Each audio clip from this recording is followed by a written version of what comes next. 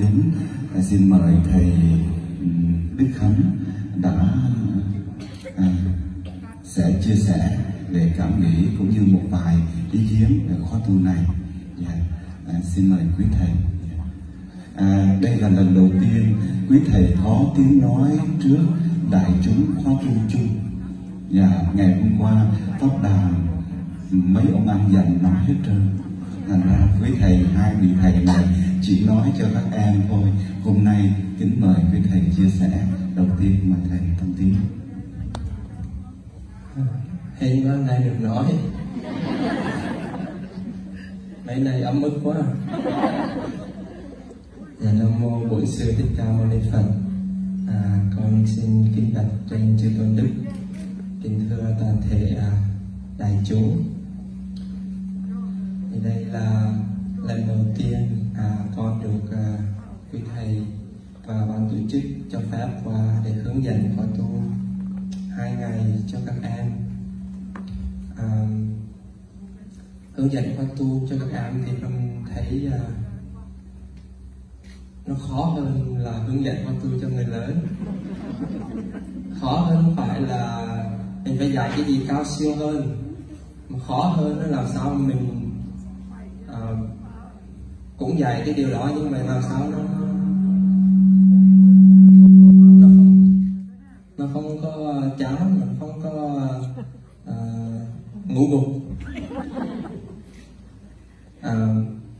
khó vậy thôi nhưng mà các em trong khoa tu năm nay rất là dễ thương. À, các em nó làm cho mình rất là ngạc nhiên đó là dù cho dù mình chưa có dạy vậy mà gặp mình nó nó chào thầy nó chắp tay chào thầy thì mình thấy ồ oh, ok anh can do it nghĩa là được mình có thể làm được. Thì trong vòng hai ngày đó à, chúng con và à, thầy Đức Khánh à, cũng cố gắng hết sức mình để làm sao cho các em vừa học vừa chơi. À, không học quá nhiều mà cũng không chơi quá trớn. Làm sao để các em có được sự cân bằng giữa học và chơi để uh, lần sau nó còn tới nữa chứ. Để học tu quá lần sau nó không dám tới. À, có một em chia sẻ đó là khi mà mẹ bắt đi khóa tu á em cứ nghĩ là tới đây là phải à, ngồi thiền ngồi thiền 7 tiếng một ngày. Thầy nói với bác bên kia còn chưa ngồi được nữa muốn gì với em đây. Cho nên đừng có lo. À, mà khi tới đây thì em thấy mọi thứ nó khác hẳn. À, không như em nó nghĩ.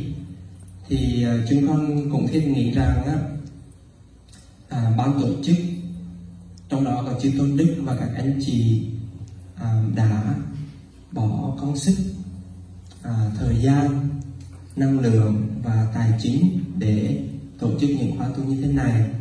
Thì à, quý phụ huynh chúng ta cũng cố gắng à, gọi là mình dùng từ dù dù các em tới đây để tham dự. Thì chắc chắn rằng chúng con sẽ có cách để các em thích lần sau tới nữa. À,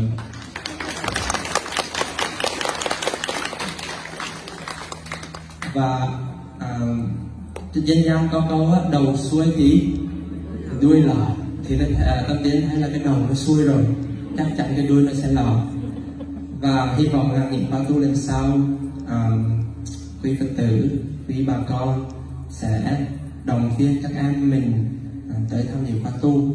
Dù cho nó có thực sự ham muốn hay không hay là nó cũng có một chút gì đó uh, kêu mẹ ơi đừng kêu con đi nữa mình cứ hướng dẫn cho các em tới rồi quý thầy sẽ uh, tìm cách để cho các em hòa nhập và uh, truyền trao một ít gì đó lời đức phật dạy cho cuộc sống của các em sau này nó dễ dàng hơn.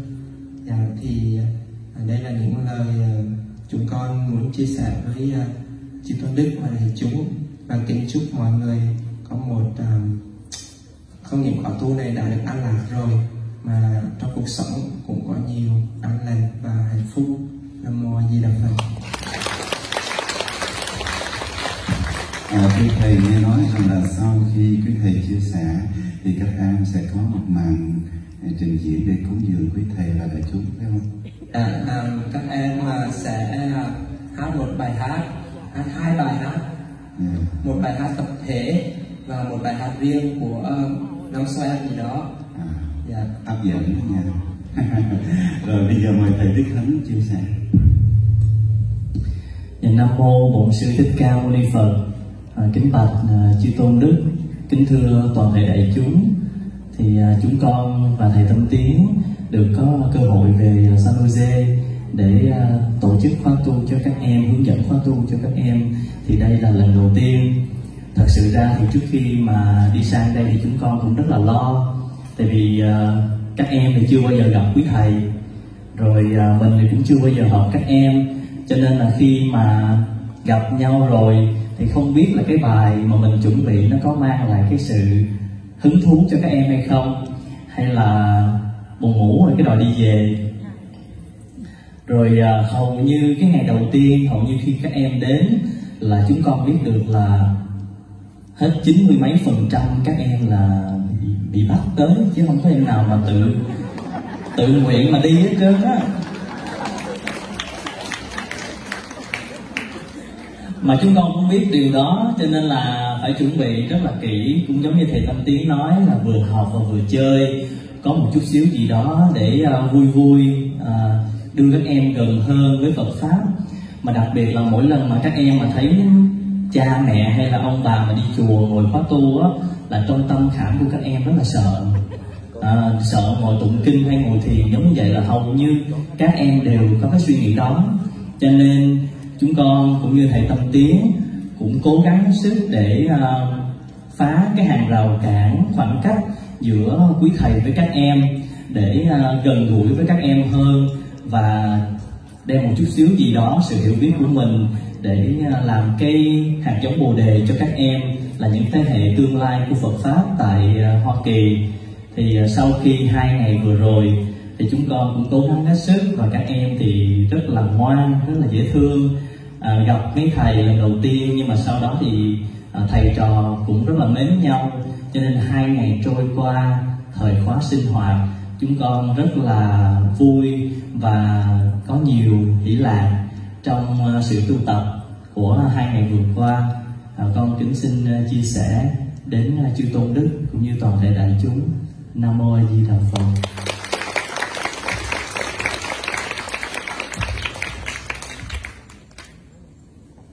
Bây giờ thì mời các em hay là cúng dường gì đó. Okay.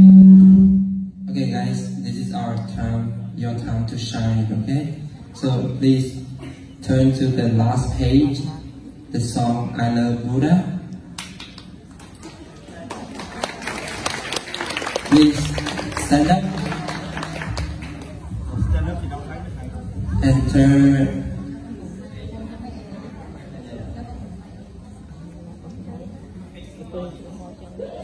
Okay.